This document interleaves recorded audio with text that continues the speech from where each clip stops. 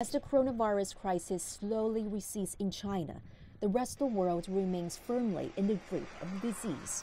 There are major battlefields scattered right across the globe, and likely many have yet to emerge.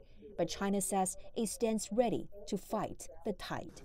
Multiple medical teams from the country have been dispatched to these hotspots to tender their expertise as well as experiences. I feel that the Chinese team visiting here was very important for us, and definitely they have a vast experience, and we are gaining from that experience. In basing on your recommendation and the, your experiences, they will definitely modify certain things, and that would be helpful. The United States has emerged as the epicenter of the outbreak now, with more than twice as many confirmed cases as any other country. American health professionals are scrambling to find ways to slow down the spread. Some have been consulting with Chinese doctors who treated critical patients in Wuhan where the virus was first detected. Uh, when you intubate, I know uh, you said N95 eye goggle Yes, for every patient. almost for every patient. Yes.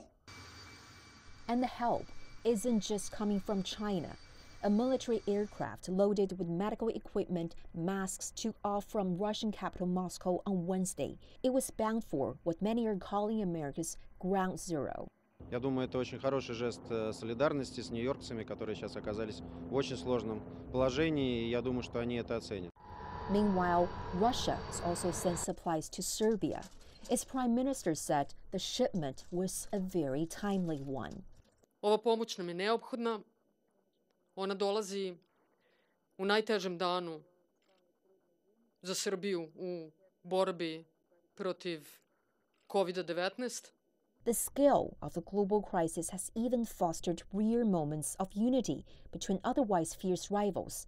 Israeli and Palestinian leaders coordinated policy to seal off the West Bank city of Bethlehem, a major tourism hotspot. The UN praised their efforts to put containment first, but warned that similar sacrifices and more global acts of cross border cooperation were critical in beating the disease.